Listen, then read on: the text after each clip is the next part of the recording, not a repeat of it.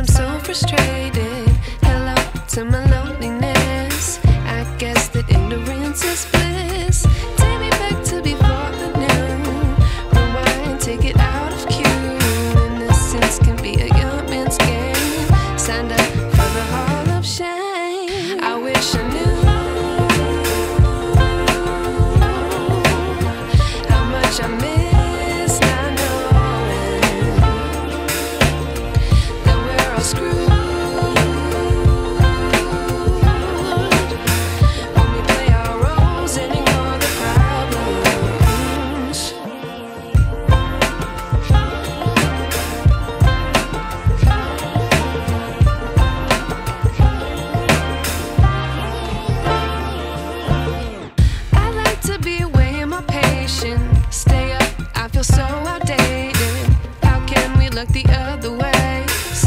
myself.